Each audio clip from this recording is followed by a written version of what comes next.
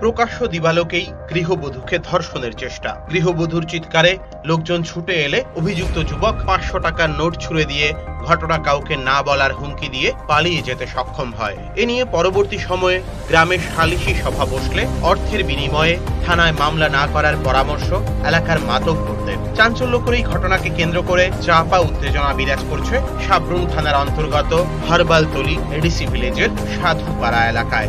ঘটনার বিবরণে জানা গেছে, মঙ্গলবার দুপুরে এক উপজাতি গৃহবধূকে নির্জনতার সুযোগ নিয়ে ধর্ষণের চেষ্টা করে এলাকারই এক যুবক। অভিযুক্ত যুবকের নাম ওজি ত্রিপুরা। এদিন দুপুরে নির্যাতিতা গৃহবধূ সাধুপাড়া বাজারের ব্যবসায়ী স্বামীকে খাবার দিয়ে বাড়ি ফিরে যাবার পথে তার পিছু বাইক নিয়ে ধাওয়া করে ওচি কিছু দূর যাবার পর নির্জনতার সুযোগ নিয়ে ওই যুবক গৃহবধূর উপর ঝাঁপিয়ে পড়ে। চেষ্টা করে জোরপূর্বক ধর্ষণের। তখন নিরুপায় হয়ে উপজাতি গৃহবধূটি চিৎকার দিলে লোকজন ছুটে আসার আগেই অভিযুক্ত যুবক ঘটনা কাউকে না বলার জন্য পাঁচশো টাকা ছুড়ে দিয়ে ঘটনাস্থল থেকে পালিয়ে যায়। পরে গৃহবধূটি বাড়ি গিয়ে সমস্ত ঘটনা খুলে বলে নিজের স্বামী ও পরিবারের অন্যান্য লোকেদের। জানানো হয় এলাকার মাতব্বরদের। রাতেই বসে সালিশি সভা। অভিযুক্ত যুবক ও তার পরিবার শাসক দলের কট্টর সমর্থক হওয়ায় সালিশি সভায় উপস্থিত মাতব্বররা অভিযুক্ত যুবককে বাঁচানোর জন্য চেষ্টা করে। বিষয়টি থানা পর্যন্ত না গিয়ে সেখানেই সমাপ্ত করার জন্য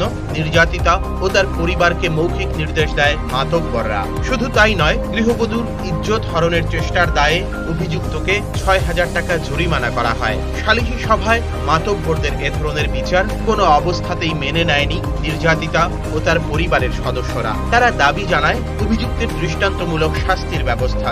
পরে সালিশি সভার সিদ্ধান্ত না মেনে শাসক দলের নেতাদের বিভিন্ন বাধা বিপত্তি উপেক্ষা করে নির্যাতিতা মহিলা ও তার পরিবার রাতেই ছুটে যান সাবরুম থানায়। সেখানে গিয়ে অভিযুক্ত যুবকের নামধাম জানিয়ে ধর্ষণের চেষ্টা করার অভিযোগ এনে লিখিত অভিযোগ দায়ের করেন তারা। অভিযোগ মূলে রাতেই পুলিশ ছুটে যায় সাধুপাড়া এলাকায়। যদিও পুলিশ এদিন গ্রেপ্তার করতে পারেনি অভিযুক্ত যুবক অচি ত্রিপুরাকে। এই ঘটনাকে কেন্দ্র করে গোটা এলাকায় চাঞ্চল্য দেখা দিয়েছে। একই সাথে একজন নির্যাতিতা মহিলার ইজ্জতের দাম যেভাবে অভিযুক্তর পক্ষ নিয়ে ছয় হাজার টাকা ধার্য করেছেন মাতব্বররা, তা নিয়ে এখন এলাকায় দেখা দিয়েছে গুঞ্জন।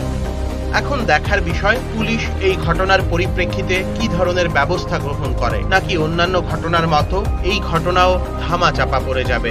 যার দিকে এখন তাকিয়ে রয়েছেন গোটা সাবরুম এলাকার সচেতন নাগরিকরা। তুই কোথায় আপ? কোথায় কই দিছে? মানে তোমার বিচারে নেতারা বিচারে ছয় হাজার টাকা দিবে হ্যাঁ কইছে। তুমি মানছ না?